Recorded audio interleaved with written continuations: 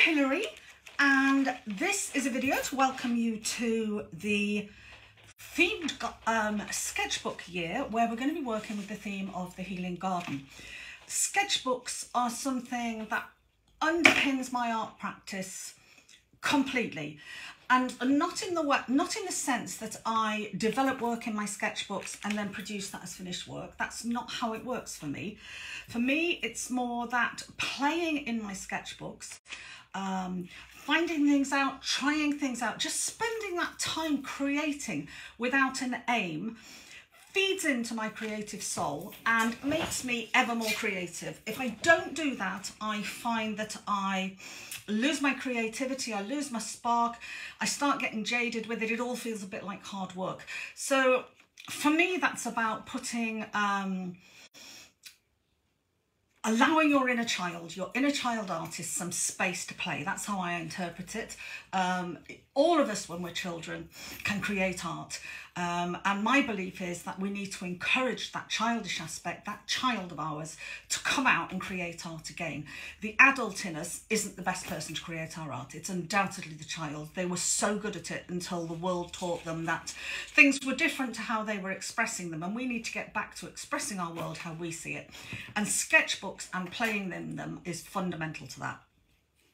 So I'm really looking forward to this year. It's an absolute treat to take one theme and spend a whole year on it. I've got dozens and dozens of sketchbooks um, on lots and lots of different themes, many ongoing, but it's rare that I actually get to work through continuously for a year with one theme.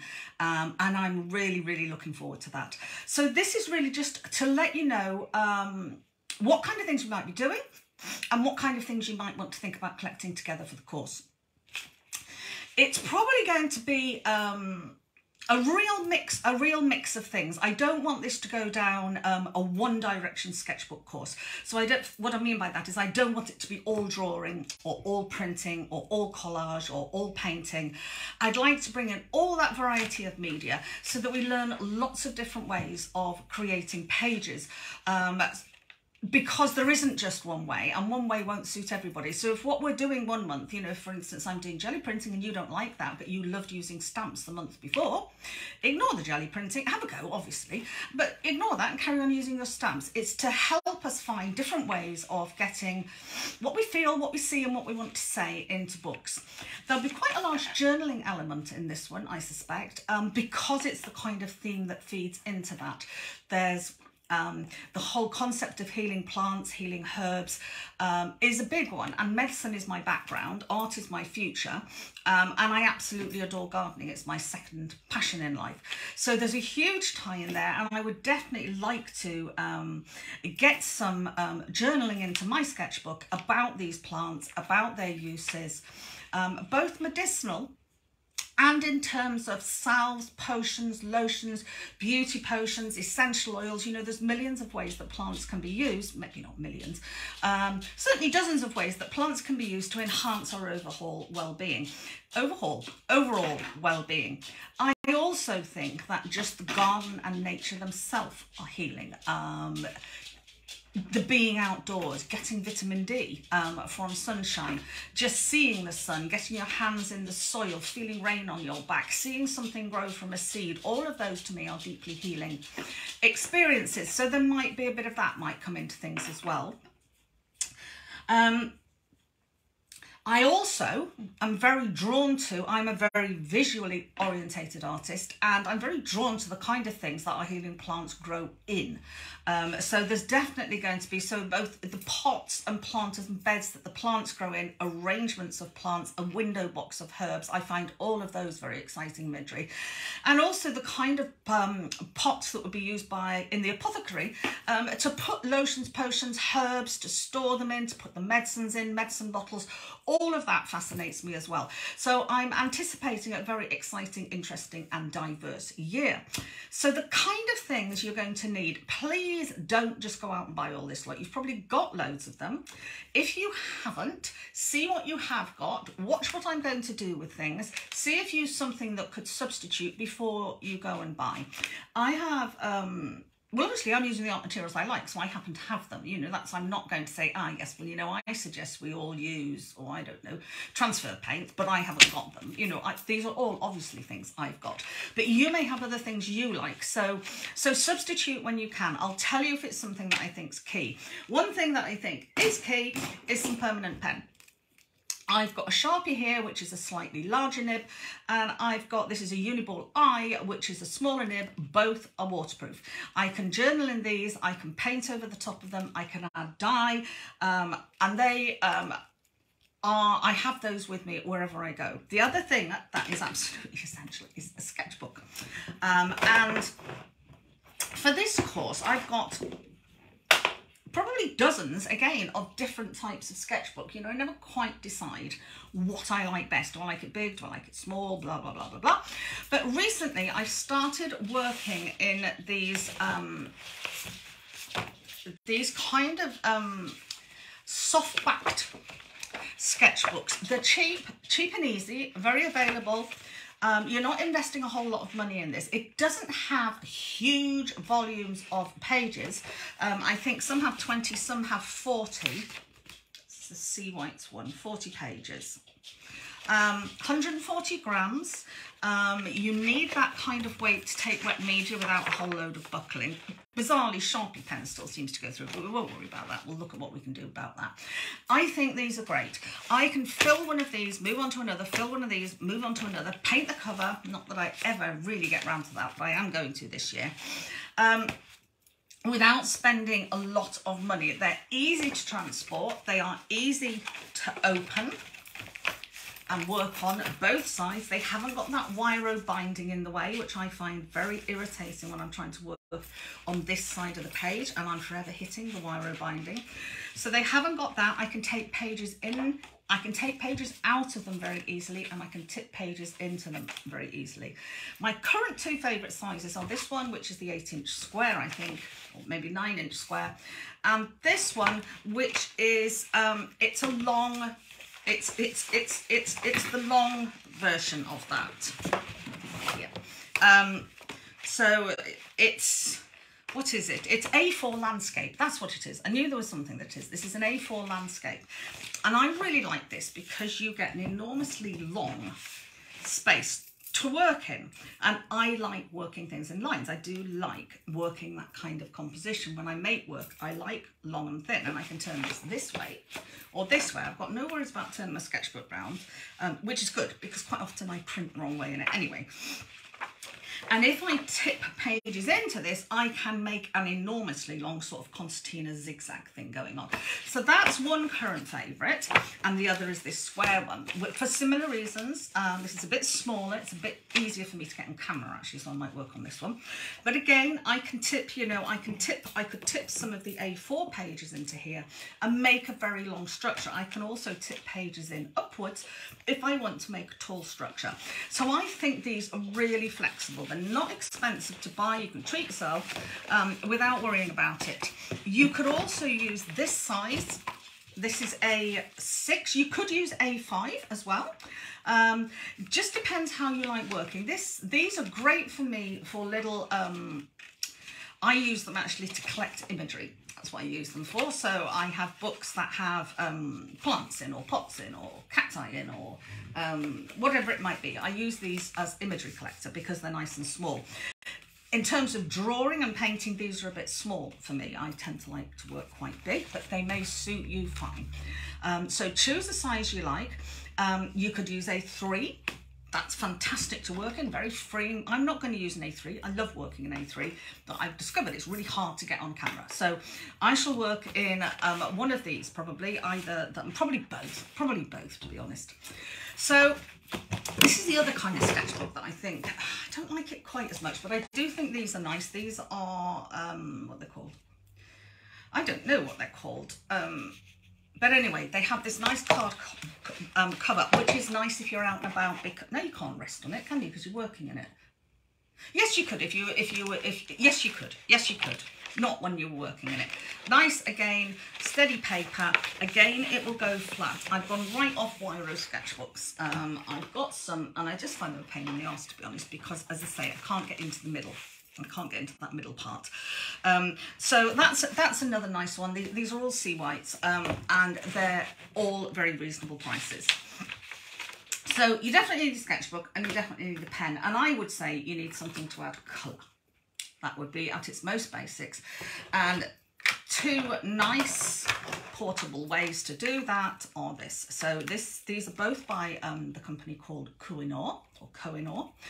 Um, this is um, palette of 12 dye colours um, which you can mix together to make other colours. Very easily portable. It's got a little palette in the lid. You can see I forget about the palette and just use the whole thing and make a mess, but that's fine. That's my style. That's me. Um, one of those is great. Or these little stacking ones. These I like even better. you can see these are very well used. Um, and these you can get dye ones or, or, I think they're usually called brilliant watercolors or you can get watercolor ones. I like both of them. I seem to have a mix here. I've got a watercolor one on the top I can just tell by the softer colors and these are the dye palette a little bit more intense. They have a little well in the middle for for mixing and they also have a little palette in the top and they all all join together so they're really really good and to be honest you could make a sketchbook if you had a bit of gesso to mix in to give you some white basic color you could make a sketchbook using just those things but what else is fun to have and useful to have well I know, actually a glue stick. You've got to have a glue stick because you've got to be able to stick stuff in, ephemera, collage, things like that. And then that makes me think you need some paper to print on outside of your sketchbook. So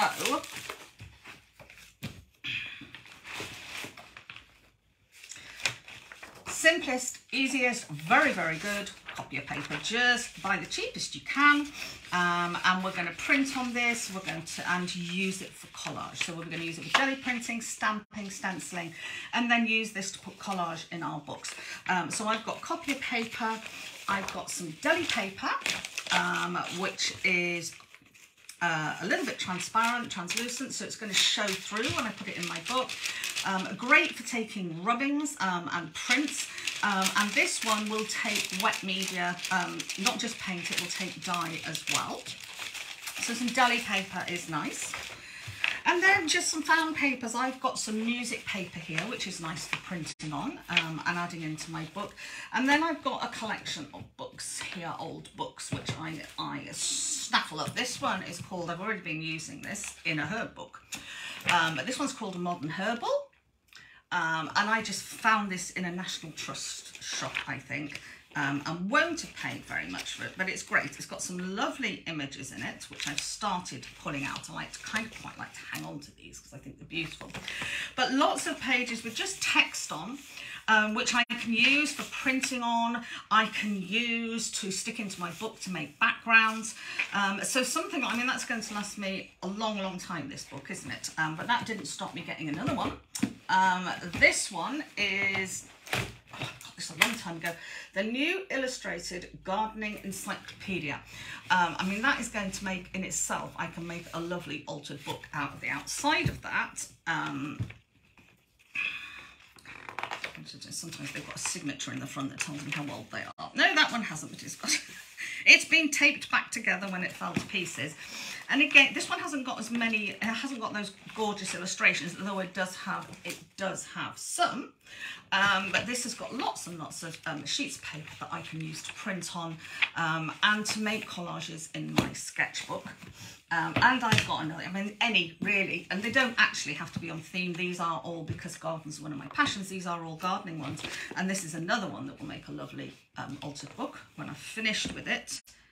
Oh, this one's 1909. That's just amazing. I find that amazing. So it's 114 years old. Who would have thought? And I know PPC, geranium, I'm looking at the plants here, you know, I could find a little bit of information about one of my plants. Let's see if Echinacea is in here, I can't resist. This is supposed to be an introduction and I'm off, but E comes before G. That'll be why. Oh, Eryngium, ek, ek, ek, ek, Echinacea. It's on two pages. Oh no, no, that's Emmesia Echinops. E oh, I can't read it upside down. Ek, ek, ekin, ekin, a, ekin. Oh, it's not in here.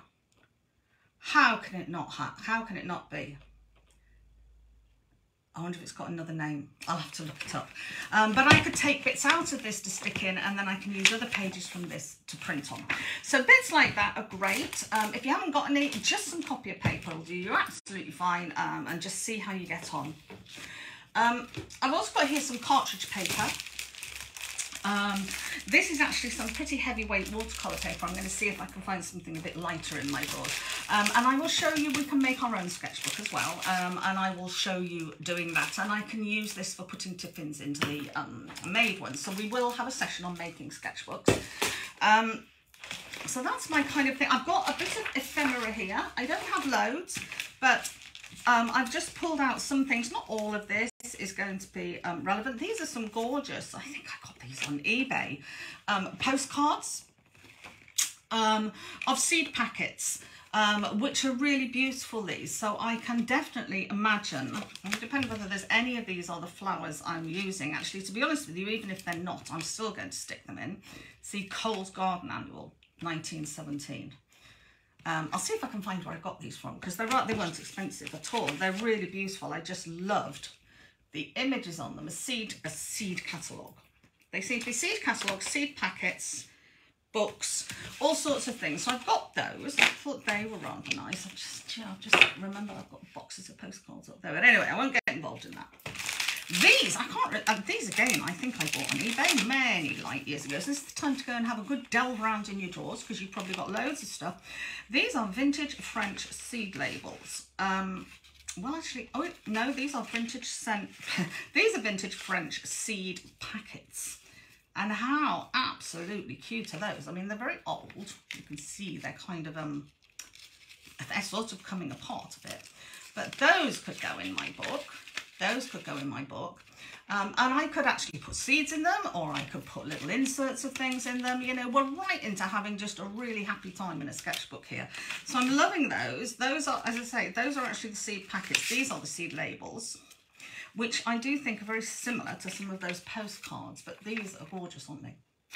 So I've got a packet of those as well. If I can find links for either of those, I will do um, just in case anybody else feels the need to, to indulge in a bit of ephemera.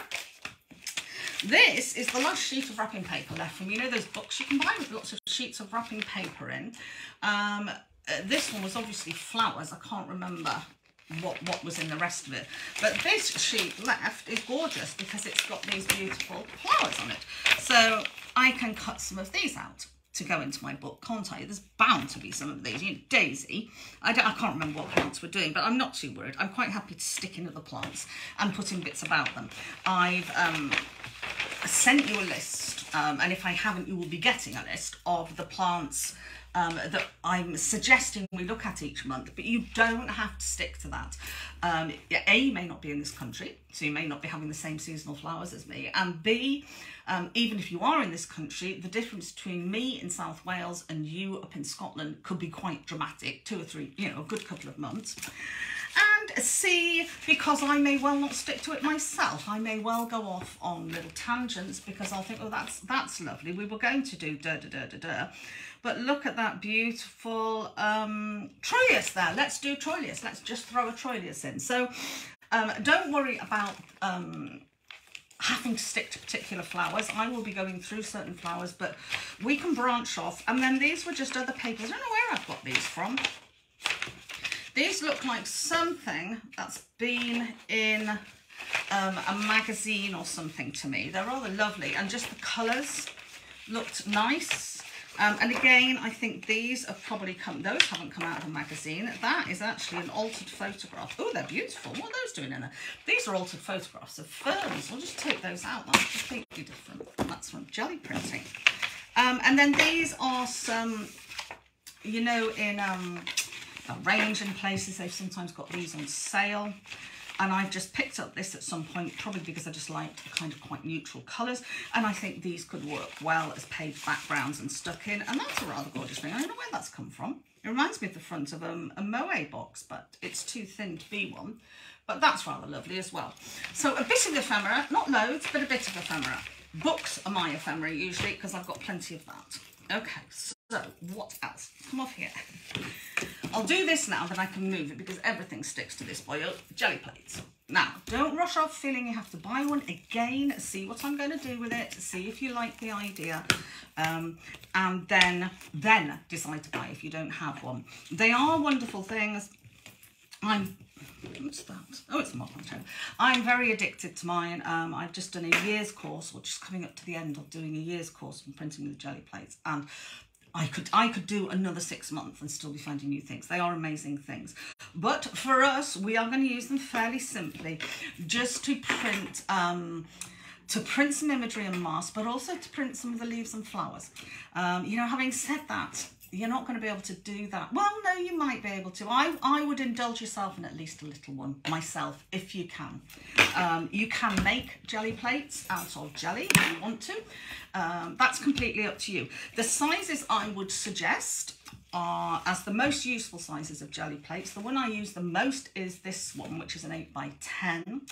Um, but for sketchbooks, these two would both be um, fine. This is a 7 by 5 and this is a little 5 by 3 and that's a nice size for carrying around with you. So that's some jelly plates. And then the other thing that I'd like to do but is a little bit screen printing with some of the plants. This is a nice, um, relatively cheap um, silk screen it's a 43T mesh. We don't need to go into what that means, but it just means it will print for you instead of you putting stuff through and it not coming out the other side, which is what happens if you get a too higher mesh. So you only need a little one. Um, I am going to, I have a way when we come to it, I'm going to try experimenting with an embroidery hoop and a bit of um, a bit of sheer curtain and see how we get on with that. But these are about eight or nine pounds um, and I think a good investment. And this allows us to print some of our plants, um, which can be really quite exciting. So you might want to think about one of those. Again, when we get to that, watch watch the videos, see if you fancy it, and then then go and invest if you want to. What else have I got on here? Okay, I've got some lino cutters. This is just a, a, cheap little set. It doesn't come with three handles. That's just, I've got a lot of lino cutters in the studio for students to use. So I have mine set up with different blades on different handles, but you can buy these um, little sets. Um, you don't need an expensive set for this. And the things I'm, we're going to be carving mostly are things like these erasers. Um, which are brilliant for making little stamps for a sketchbook. Um, we're going to have a video on that in our first month. Um, these ones are five-star plastic erasers. They're like the um, Mars ones. I'm probably well out of date there, but we used to have them when I worked um, in an office. And then this one, these are called what are they called? Fat belly fish. Um, and these are just a nice, these are a nice size. They seem a bit stickier when in use than this one, but they are a nice size again for making little stamps to use in our books. Um, so we will be setting up some of those in our first, in our first sessions, um, just to get some pages, get the white off the pages. Um, so if you want to do that, um, you would need those. And then the other thing that you can use to get the white off the pages, and we will look at in the first month, is just making some very simple foam stamps. Um, and I use just foam board, you could use polystyrene, anything really. Um, and then I, I've got this funky foam. Um, mine has um, not a very decent backing on there, that's been peeled off, but it has, I must have shown that to somebody and said, look, it's got adhesive backing, it hasn't now. Um, adhesive backing so that I can just cut out simple stamps um, and make myself just simple um, tools to use to make marks in my sketchbook. So we will be looking at that and cutting some of the erasers um, in our first sessions. Um, I've also got, just while I'm looking at kind of um, equipment things, this is um, Tyvek. You don't need this amount. Um, it's a sheet, um, you may have come across this if you've done City and Guilds, it's often used for melting and distorting. Um, I'm going to use it for masks and for making some simple stencils because it's, it's very strong. This is a 55 gram weight. Um, and it's not very expensive either. Um, and you can get this from, um, you can get it from the dreaded Amazon, um, but it is supplied by um, a woman called Jill. So, and there is a website. If you can see that on there, www.jill-i-am.co.uk. Um, and she supplies Tyvek in smaller bundles than I've got here. That is a really useful thing to have. Um, we won't be using it this session, I don't, I don't think, um, but we will be doing in the future. Okay, what else have I got here? I'm going through my piles. I'm going through my piles, then I'll check my list. That tends to be the way I do the, most things. I do it first, and then I check my list. Right, this grotty looking and well-used bottle is barrier cream. This is not essential but I use it every time I work. It keeps my hands clean, it makes them easier to clean. And if I'm using dyes, it stops any dye getting absorbed into my skin. So I would highly recommend getting yourself a barrier cream. Um, I've mentioned gesso. This is just, um, this is a Pebeo one, which is a nice um, medium viscosity and a medium covering power. And but there's other varieties i would watch out for the ones from the works um i don't know what the range one is like but some of the cheap ones um, I mean, this isn't very expensive, Pebeo, um, this this tube, um, but some of the cheap ones just don't cover anything. Um, so we're going to we're going to use gesso. Um, I would I will also be using paint. Um, I've picked up some herby looking colours to me. Um, I mean, I know red, but then there's things like clary sage, which is bright red. And of course, we're doing echinaceas first month. So, you know, you need those. Um, yellows, and then the purples and lavenders and lilacs, those sorts of colours, some greens and blues. Um, I'm using, I will be using my own paints, which are fabric paints, but they're perfectly good on paper as well um, and they're just a nice opaque paint. I would suggest you get an opaque paint because then when we start adding um, other media over the top of it, the paint's going to hold up. You'll see that as we work along. Come more here. For applying the paint, um, I've got some, just some palette trays and I've got some um, sponge rollers. You know, these are just tools of my trade. I've been using these for years and years and years and years and years. I just wouldn't want to be without them. I don't use them as much with my sketchbooks because it means getting them out. But when I'm doing some jelly printing or stenciling, I would get these out to use. So a couple of trays, some rollers. I've also just got a small rubber brayer, a hard brayer um, which I don't use very much, but it can be quite nice for doing backgrounds in your um, in your book. So if you've got one, it could be handy. Those are paints and trays. We've talked about the watercolour ones and the dye ones there. Um, masking tape and washi tape. Um, brilliantly useful for tipping pages into books um, and holding on to them. Um, and also for adding in ephemera, you know, if I wanted to tape in a postcard rather than stick it in so I could see both sides, I can do that um, with these. I've got, I haven't got very many out here, but I've got a few um, washi tapes. I particularly like black and white ones um, because I think they look very graphic um, when they're with other colours and other media. And this one, which I've got a few rolls of, it's uh, it's kind of keys and little things, but I don't know, it, it just kind of looks apothecary-ish to me, does that? It's got that apothecary look. It might be because I've got a very similar one, actually, that's got little apothecary's bottles on, so it could be that. Um, but you don't need to, if you haven't got washi tape, you don't need to rush out and buy some masking tape. Masking tape will do fine. You don't have to cover yours in dye. Um, and we're also going to be using that when we make a sketchbook. And the other thing I've got here is some duct tape, which I use with the Tyvek to make stencils. This kind of goes around the edge of your Tyvek stencil just to give it a bit more strength. Not essential again, you could use masking tape or you could just not bother. So wait and see and see, you know, see what you see what you've got. I sometimes use cloth tape. Um, if you've got that for sticking down carpets, I've used that before instead. So see what you've got around. You've got to love the colour of that, haven't you? Um, I've got a cutting mat. This is just an A4 one, really nice, useful size. You know, when you're working on a sketchbook, it's quite nice not to have huge tools. So this is nice. I've got a one foot ruler. This is a metal one with a nice corky back so that it doesn't slip. Um, so that's good. That's also good for tearing paper against. I've got um, a knife These are retractable ones with snap-off blades. Um, highly recommend that sort of knife because you can keep changing the blade.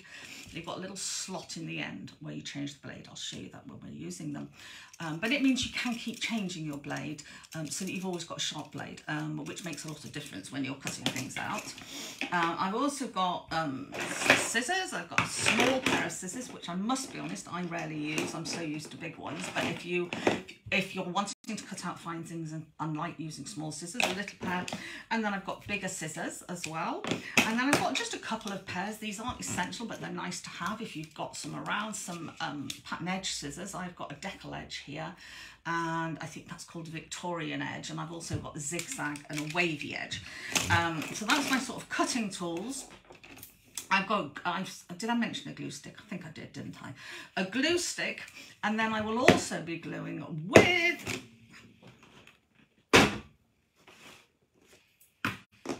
No, I got it out. Maybe I didn't get it over here. Matte medium. Um, just let me get it. You don't really need... Oh, hang on, I have got it out. It's here. It's hiding. Here we go. Matte medium. Don't get it mixed up with gesso. If you're using the Pebeo one, they do look similar. Red pot, purple pot. Um, it's a very good matte medium, this. It's... Um, you don't have to use matte, you can use gloss if you prefer things shiny. I prefer to keep it matte and then I would add gloss later if I wanted to. This is a nice medium viscosity, um, which makes it very good for gluing. I can add it into my paint if I want to make them more transparent. And I can use it as a sealer if I need to as well. So um, I think you need some of that. I also have, which I haven't got here, um, but some acrylic wax, which is even, which is thin, a very thin medium, totally clear um, either in matte or satin, um, which I can use to seal pages if I want to. But you could get away with just matte medium for that, for all of that. Then I've got a few, oh, and I've got, I'm just, just to show you, just, I, have got a pot for putting my knife blades in, just a little sharps pot. It's an old dye pot. A few brushes. Um, I like to have, you know, something this sort of size for doing backgrounds in pages. This one is my gluing brush, really. It's a kind of, um, I think that's a three quarter inch flat brush. Um, this one is a one inch mop, which I really like for working um, dyes or inks around wet media. And then I've got a few just small finer brushes for if I'm wanting to paint imagery those of you that are coming from the sketchbook course, you've got everything really, because this is all the same stuff we use. Um, I've got, I use these a lot. This is Neocolor One, Neocolor One crayons. They are water resistant. Um, and this means I can put them down and I can then add wet media over the top and they won't move around. Um, and I've got two boxes. This is actually my box of fairly whole ones, although not not necessarily, but of newish ones, where I put my whole ones. Well, I do and I don't. And then I've got a whole box of another one of these of smashed up bits, which is how I like them, really. Um, they're brilliant. I use those an awful lot, an awful lot. Um, those are my most used mixed media but I do also use, and you might have around, um, some oil pastels. These can be fun to use. This is just a cheap set from Derwent, um, but they give a nice resist with the dye. So those might be a nice thing to have, to play with and I do like using chalk pastels. Now, you don't have to, you might find this stuff gets up your nose, but sets like this are not expensive at all, and you've got lots of colour in there, and we can have quite a lot of fun playing with those. Those can be quite nice to draw with on this side if you find um, the idea of drawing directly a bit scary. And nice for putting down colour. Um, I've got another set of chalk pastels here. These ones are um, oh, remember what these called every time I come to this bit, whatever course I teach. Um, are they called Cretacolor? No. Oh, what are they called? Anyway, these are called hard pastels. Um, and they are just, they're still chalky, but they're a much harder consistency. Those can be much better if you don't like all the chalk coming off these, if that gets up your nose, which it does for some people. I've got pens. Um, my favourite pens.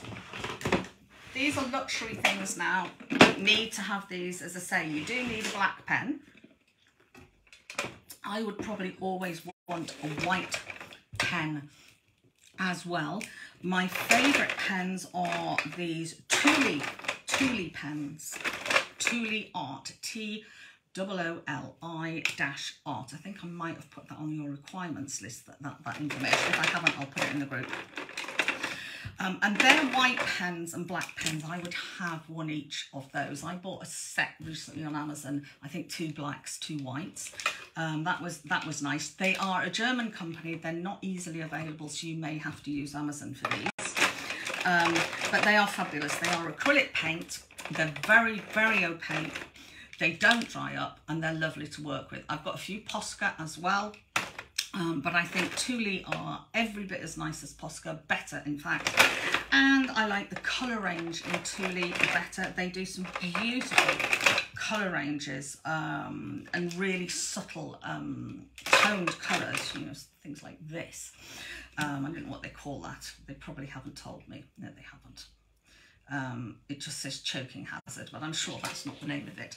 Um, but they're fabulous. I would recommend those without hesitation. Um, but if you haven't got um, those, you, you, you, may have other um, acrylic pens, acrylic paint pens, or you may have felt tips. They could be used as well.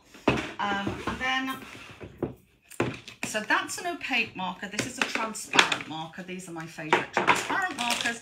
And these are Promarkers. Um, made by Winsor & Newton or Letraset, depending on when you buy them, I think. I think, I, I think one of them has bought the other and I can't remember which way around.